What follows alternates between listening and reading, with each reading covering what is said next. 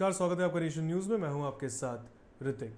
Bulletin की शुरुआत करेंगे। आरजेडी विधायकों ने विधानसभा के बाहर बिहार में बिगड़ते लॉ एंड ऑर्डर को लेकर जमकर हंगामा किया। विधायकों ने आरोप लगाते हुए सरकार कहा कि सरकार अपराधियों को संरक्षण देने का काम कर रही है, साथ ही उन्होंने बढ़ती महँगाई को लेकर भी सरकार को आड़े हाथों लिया है। उन्होंने कहा कि चाहे जो कुछ भी हो, बंगाल में बीजेपी की सरकार नहीं बनने देंगे, हमारी पार्टी दीदी के साथ है। जनता के हित में किसानों के हित में कोई काम नहीं कर रही है। ये जनता को केवल परेशान कर रही है। जिस तरह से गजनी आया था और देश को लूटा था, उसी तरह ये बीजेपी वाले आए हैं। देश को लूट रहे हैं, एनडीए वाले लूट रहे हैं। लेकिन ये सरकार जिस तरह से ईस्ट इंडिया कंपनी आई थी और देश को गुलाम कर लिया था पश्चिम बंगाल चुनाव को लेकर कांग्रेस विधायक अजीत शर्मा ने अपनी प्रतिक्रिया दी। उन्होंने बीजेपी पर हमला बोलते हुए कहा कि हमारा एकमात्र लक्ष्य है कि आगामी बंगाल चुनाव में बीजेपी की सरकार बंगाल में न बनने दे। यही नहीं, उन्होंने मोदी सरकार पर हमला बोलते हुए कहा कि सरकार ने युवाओं को रोज़गार देने का ऐलान किया था, मगर अब तक उसे मुकम्मल नहीं किया गया। भारतीय जनता पार्टी को हम लोग सत्ता में नहीं आने देंगे क्योंकि वो देश जनता के विरोध है। हमेशा दो करोड़ युवकों को रोज़गार देने की बात की कोई रोज़गार नहीं है। काला धन से ला के पंद्रह पंद्रह लाख नहीं दिया, वो झूठ बोलती है। इसलिए हम लोग का एक ही मकसद है, हम लोग वहाँ पे भारतीय जनता पार्टी को सत्ता में नहीं आने देंगे, चाहे जो भी हम लोग जो भी करेंगे, पूरे महागठबंधन जो हम बिहार में अब देख रहे हैं, वो मिलजुल के ही लेंगे। बिल्कुल, फिर गड़बड़ियाँ। बीजेपी के विधायक संजय सरोग ने बंगाल चुनाव पर अपनी प्रतिक्रिया देते हुए ममता बनर्जी पर हमला बोला। उन्होंने कहा कि बंगाल चुनाव के नतीजे बीजेपी के हक में होंगे। इस दौरान उन्होंने कहा कि तेजस्वी यादव के बंगाल जाने से भी ममता बनर्जी को कोई फ़ायदा नहीं होने वाला। वो पहले ही आत्मसमर्पण कर चुके हैं। जाए, नहीं जाए कांग्रेस प्रचार करे नहीं करे बंगाल में इन लोग का सुपरासन। तेजस्वी यादव वहाँ पाँच ठो वोट ठीक कर सकते हैं क्या? पहले ममता बनर्जी के पास जाके सिलेंडर किया कांग्रेस के पास जाके सिलेंडर करेंगे कोई अस्तित्व है? कांग्रेस का भी वहाँ सुपरा साफ़ है। दो मई को पता चल जाएगा कांग्रेस के अधिकांश प्रत्याशियों की जमानत जब हुई है तेजस्वी और गुरुवार को सदन की कार्यवाही के दौरान हम पार्टी के अध्यक्ष जीतन राम मांझी ने वृद्ध पेंशन बढ़ाने की बात कही। उन्होंने कहा कि सरकार को वृद्धा पेंशन बढ़ाकर पंद्रह सौ रुपए करनी चाहिए, ताकि उन्हें कोई परेशानी ना हो। यही नहीं, मांझी ने बारह नए विधान पार्षदों में हमको जगह नहीं देने पर भी नाराज़गी जताई है। जो हमारे बुज़ुर्ग हैं, जो हमारे विधवा बेटियाँ हैं, वो सबका भी समाज और बिहार के विकास में योगदान है। और वो आज पैसा के अभाव में दूसरों पर आधारित हो जाते हैं, जो नारकीय जीवन व्यतीत कर रहे हैं, वैसी परिस्थिति में उनको भी अगर हम कोई रिटायर्ड हो जाते हैं क्लास फोर भी, उनको पेंशन मिलता है। और इस प्रकार के लोग को अगर पेंशन न दिया जाए तो वह नैतिक कार्य है। इसलिए हमने कहा कि ठीक है, हमारी माली स्थिति बहुत अच्छी नहीं है। हम तीन हज़ार नहीं दे सकते हैं, अढ़ाई हज़ार नहीं दे सकते हैं। इसलिए कम से कम पंद्रह सौ यानी एक हज़ार पाँच सौ रुपया मास बिहार विधानमंडल में बजट सत्र के दौरान पटना के एक निजी स्कूल की छात्राओं को विधान परिषद में कार्यवाही देखने के लिए आमंत्रित किया गया। गौरतलब हो कि जब भी विधानमंडल का सत्र चलता है तो उस दौरान बिहार के विभिन्न स्कूल के बच्चों को सदन की कार्यवाही देखने के लिए बुलाया जाता है। कोरोना काल में गुरुवार को पहली बार कोविड 19 के गाइडलाइंस का पालन करते हुए स्कूली छात्राएँ बिहार विधान परिषद में सदन की कार्यवाही देखने पहुँची। कई स्कूल के बच्चों को हम लोग बुलाते हैं यहाँ पर, हम लोग को शिफ्ट वाइज दिखलाते हैं। जितनी जितनी हमारी आवश्यकता है, जितनी बचने का जगह है, उसी के अनुसार हम लोग करते हैं। और इन बच्चों को यहाँ पर हम लोग भोजन भी कराते हैं। भोजन की उसी परंपरा के अंतर्गत आज भी सब स्कॉट की सब बच्चियाँ आई हुई देखने के लिए, और क्या उससे सीखी, उन लोगों से पूछिए।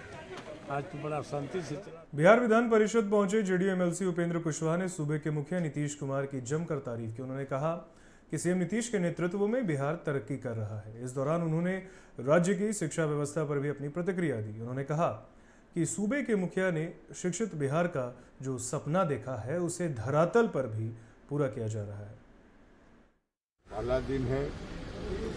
इसके पहले बाकी देश के जो तीन अन्य सदन हैं वहाँ का अनुभव मुझको मिल चुका है। विधान परिषद के सदस्य के रूप में आज कार्यवाही में भाग लेने का मौका मिला। मेरे लिए सौभाग्य की बात है कि चारों सदन में काम करने का मौका मिला है। सदन में हमने देखा कि बहुत अच्छे शराबबंदी कानून के उल्लंघन मामले में विपक्ष के निशाने पर आए मंत्री राम सूरत राय के भाई हंसलाल राय की गिरफ्तारी की कवायद तेज हो गई है। मुजफ्फरपुर पुलिस ने मंत्री के भाई समेत 10 आरोपियों की गिरफ्तारी वारंट के लिए कोर्ट में अर्जी दी है। आपको बता दें कि इस मामले को लेकर लगातार नीतीश सरकार की फजीहत हो रही है। तेजस्वी यादव लगातार इस मामले में कार्रवाई की मांग कर रहे हैं। वहीं मंत्री की बर्खास्तगी की मांग पर पूरा विपक्ष लगातार हंगामा कर रहा है। बिहार में पंचायत चुनाव की सुगबुगाहट तेज हो गई है। ऐसे में अपराधी भी अब दिन दहाड़े घटनाओं को अंजाम देने से बाज नहीं आ रहे। दरअसल चुनावों में वर्चस्व को लेकर अक्सर दो गुटों में हिंसक झड़प होती रहती है। इसी का एक नमूना बिहार के सहरसा ज़िले के कचहरी ओपी थाना क्षेत्र में देखने को मिला, जहाँ मुखिया के भतीजे ने ही मुखिया के साथ मारपीट की। इतना ही नहीं, उनसे दो लाख की रंगदारी की मांग करते हुए इस बार चुनाव नहीं लड़ने की भी उसे धमकी दे दी। तो साजिश रचना रहे मारे के लिए। टका मांगल के हमरा से दू लाख रुपया। हम कहाँ देती टका? रहे के बाद साजिश इसके तकर बाद हम एलिए बाहर में गाँव में घूमे लिए गाँव से एलिए तो एकाएक हमरा पर हमला कह दिल सब मिल कौन सबके वो लोग? पंकज ठाकुर अंकज ठाकुर किशन ठाकुर और पूरे परिवार। रंगदारी विवाद। भोजपुर ज़िले में अपराध चरम पर है। यहाँ सरेआम अपराधी आए दिन अपराध को अंजाम देने में लगे हैं। ताज़ा मामला मुफस्सिल थाना क्षेत्र के जमीरा गाँव का है, जहाँ हथियारबंद अपराधियों ने एक युवक को गोली मार दी, जिसके बाद उसे आनंद फानन में इलाज के लिए सदर अस्पताल लाया गया, जहाँ प्राथमिक उपचार के बाद उसे बेहतर इलाज के लिए पटना रेफर किया गया। वहीं सूचना मिलने के बाद मौके पर पहुँची पुलिस, मामले की छानबीन में जुट गई है।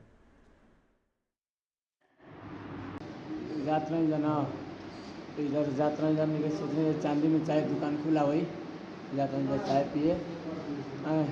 आए कोनी के बीच चांदी आ जमीरा के बीच में मार दिला कितना लोग रहे? नैनो से रहो से। नैनो से? हाँ, कौ को? बेस्ट बंगाल गाड़ी रहे। कौ तीन चार दू गो आगे बढ़ रहा एगो बीच में। हाँ, अच्छा। गया ज़िले के सोनडीहा गाँव में माँ और नाबालिग बेटे से दुष्कर्म के मामले में कोर्ट ने नौ लोगों को उम्र कैद की सजा सुनाई। मामले में कुल पंद्रह लोग अभियुक्त बनाए गए थे जिनमें चार को साक्ष्य के अभाव में बरी कर दिया गया। वहीं दो अपराधियों के नाबालिग होने के कारण मामला जुवेनाइल कोर्ट में चल रहा है। घटना तेरह जून 2018 की है, जहाँ जब एक ग्रामीण डॉक्टर अपनी पत्नी और बच्ची के साथ बाइक से घर लौट रहे थे, इस दौरान अपराधियों ने डॉक्टर को बंधक बनाकर पत्नी और नाबालिग बच्ची के साथ सामूहिक दुष्कर्म किया था। को जो दोषी पाए गए हैं, सभी को उम्र कैद की सजा अंतिम सांस तक उम्र कैद की यह कौन कौन लोग हैं? सरवन पासवान उर्फ़ कारू पासवान नवयस पासवान प्रकाश पासवान उमेश पासवान निर्भय पासवान रामू पासवान भोजा पासवान उपेंद्र पासवान रमेश पासवान। इस पर धाराएँ पश्चिमी चंपारण ज़िले के बगहा में बिहार पुलिस की परीक्षा देने गई एक छात्रा को अगवा कर टेंपो चालक ने उसके साथ दुष्कर्म किया और फिर हत्या कर दी। गुरुवार को छात्रा का शव नहर किनारे पड़ा मिला बताया जा रहा है कि मृतका के चेहरे पर तेजाब डाला गया था ताकि उसकी शिनाख्त न हो सके। वहीं अब इस पूरे मामले के विरोध में शहरवासियों ने पुलिस की कार्यशैली पर सवाल खड़े करते हुए प्रदर्शन किया। गौरतलब हो कि बीते 14 मार्च को इस घटना को अंजाम दिया गया था, लेकिन अब तक आरोपी पुलिस की गिरफ्त से बाहर है।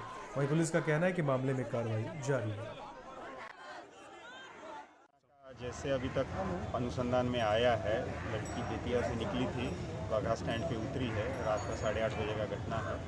बघा स्टैंड से फिर लड़की अपना भैरवगंज जा रही थी टेंपो में बैठ के। टेंपो में वो और वो अकेली थी टेंपो चालक था। तो उसी में ये घटना हुआ है। अभी टेंपो चालक जो है वो धरा गया है उससे भी पूछताछ सर पता चल रहा है लड़की के साथ रेप कर तब हत्या की गई। वो अभी जब खगड़िया के बबूर बन्ना दियारा में ज़मीन विवाद में वर्चस्व को लेकर दो गुटों में जमकर गोलीबारी हुई, जिसमें एक युवक को गोली लग गई। वहीं गोली लगने से युवक बुरी तरह घायल हो गया है, जिसे आनंद फानन में रेफरल अस्पताल गोगरी में भर्ती कराया गया, जहाँ प्राथमिक उपचार के बाद उसे बेगूसराय रेफर कर दिया गया। वहीं इस घटना के बाद से इलाके में सनसनी है।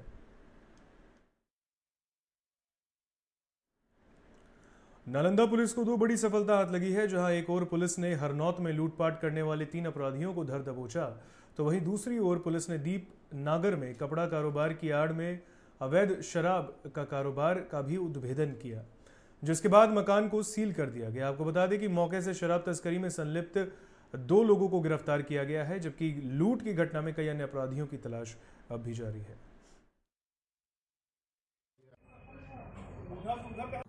ये इस रेडीमेड हौजरी जो इनका फैक्ट्री है, उसके आड़ में विदेशी शराब को बाहर से लाकर ये उसको बेचते थे।